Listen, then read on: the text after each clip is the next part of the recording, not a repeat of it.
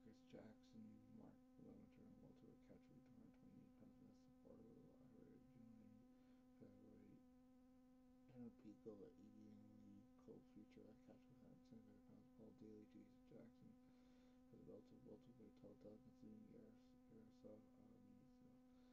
uh, Gustavo Trevilla, Matt Bell, Lucas Brennan, Nick Newell, Tywan Claxton, Kyle Kutchmer, DeMarcus Jackson, Vanessa Porto, Aaron Pico, Aaron vehicle called Daily Still built on, built on